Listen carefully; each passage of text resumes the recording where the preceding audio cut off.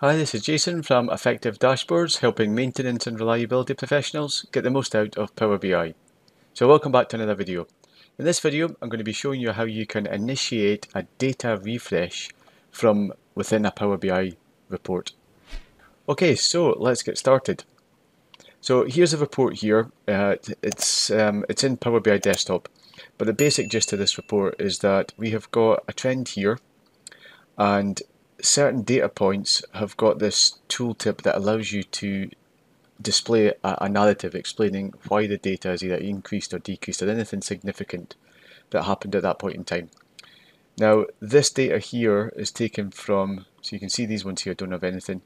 Uh, this one here has, has, one as well. Now I've, I've, created a video that explains how to set this up and um, what I've done in this example here is that the data that stores these narratives, these additional narratives related to each date, is stored within a spreadsheet that's stored within SharePoint.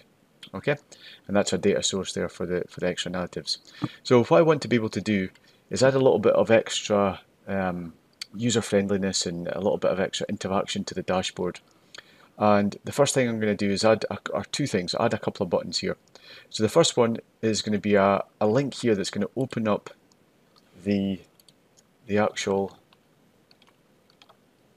underlying spreadsheet. Okay, so we can see here that this has opened up that spreadsheet and there's already a few narratives in here and that is in um, that is in SharePoint. Okay, so that's the first button. The second button is going to refresh the data so that we can see the updates we've made straight away. Okay, or relatively straight away, however long it takes to refresh the data set that sits underneath this report. So that's going to be what we're going to cover today. Okay, so let's get started. So the first thing we need to do is publish a report and take note of where we're going to actually publish this to. So it's called backlog analysis and we can see here this is going to be the name of the dataset. Safety critical work order backlog narrative refresh button before. Okay, a bit of a mouthful, but that's going to be the, the dataset that we're going to refresh. Okay, so that's fine. We're just going to say got it there. And then we're going to go and add in this Power Automate visual. Now what this does is it adds in uh, a button that allows you to initiate a Power Automate flow from within your Power BI report, which is exactly what we want to do. Now it's got some instructions here on how to set this up, but I'm going to go and, um, and talk you through that. So the first thing is find the three dots here, and then go to Edit. Now it's opened up Power Automate within your Power BI desktop report, and it allows you to start creating flows here. So let's go and we could use a template, but I'm going to use it start from scratch because it's a fairly straightforward one. So we're going to click on New, and we want to create one of these here, an Instant Cloud Flow. You can see the little button here. Um, and so nothing needs nothing needs to be added at this point here. So we go straight to next step, and we're going to go and search for Power BI refresh because we want to refresh a data set. So here it is at the top here, refresh a data set. So click on here and it's going to ask you for a couple of inputs. The first one is going to be the workspace. So the workspace we published this one to was called backlog analysis. And then the data set got a few different ones in here but the data set was this one here. Safety critical work order backlog narrative refresh before. And we're going to save it.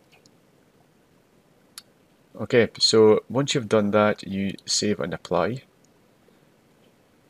And then you go back to the actual screen here.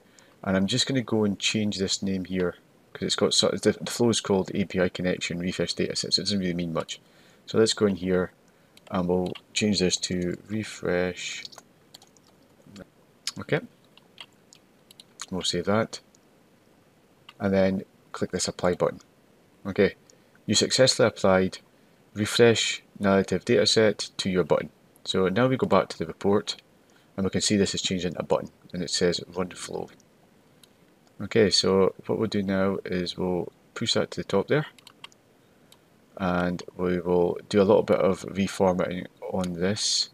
Okay so that is the the run flow button there. Okay so that's going to run the the data refresh. So let's click on here and we're just going to change it. So I'm going to go to button text and I'm going to change this to refresh narrative and we'll make the padding a little bit smaller, text a little bit smaller. Okay, that's fine. So that's the first button. Now the other button I want to do is I want to, before I refresh the data, I also want to be able to get a link directly into that spreadsheet so I can actually update the data first before I refresh it. So let's go and create a button for that. So we're going to go to insert and we're going to go to button and we're just going to insert a blank button. I'm going to stick it here and we're going to go to style and text and I'm going to say open narrative sheet. And I'm just going to quickly do a little bit of um, a little bit of formatting here, so I'll just pause it. Okay, so they are looking a bit more, um, a bit, a bit basically similar. Um, next we're going to go and click on here and we're going to add an action. So we open the action, turn it on, and we're going to put in here a web URL. And that web URL is going to be the link into the um, the spreadsheet that's stored on SharePoint. So I'm across here on SharePoint, and here is the the folder that's got all the data and it's this one here backlog report narrative sheet so I'm going to click on here and I'm going to go to copy link going to copy this link then we're going to go back to the report again okay so I'm going to go in here I'm going to click on this action and we're going to select web URL and I'm going to paste this link into here Okay, so that is us all set up. So let's publish us up to the Power BI service and we can see it in action. Okay, so we're back in the Power BI service and we can see this report is here. And I want to add in, uh, what I'll do, I'll add one in here. On the 20th of March 2019, I want to add a narrative in here to explain why there was this little blip here, this little increase here. So let's go to the narrative sheet. So I'll click on here and we can see it's opened up. And I'm going to type in here the 20th of March 2019 okay and the site I'm going to select is going to be alpha. And then the comments. So okay something like that and I'm going to add my name here the person who added it in okay so this is saved oh, it's because it's in SharePoint it's automatically saving I've opened it up within a web browser so that's fine uh, so I'm going to close that down. And then I'm going to go and press this button and that's going to trigger a refresh of the data. Okay, so it's going to refresh straight away. Uh, so when this data set's not massive, but it'll take a few minutes just to refresh it. So I'm going to pause it and then we'll come back and take a look at what's happening with the refresh. Okay, so we're going to go and investigate the what's happening with this refresh. So I'm going to click on Power BI and I'm going to go to data sets and we're going to find the data set that we've got and I think it's this one here at the top and we'll click on here and we can see here that it is in the middle of being refreshed okay it was last refreshed at 1730 but look at this um, symbol here it's getting refreshed so we'll keep an eye on that and once that's finished we can then um, hopefully see the results in the Power BI desktop report Okay, so we can see this is now refreshed and it took just over 15 minutes, so a fair bit of time actually.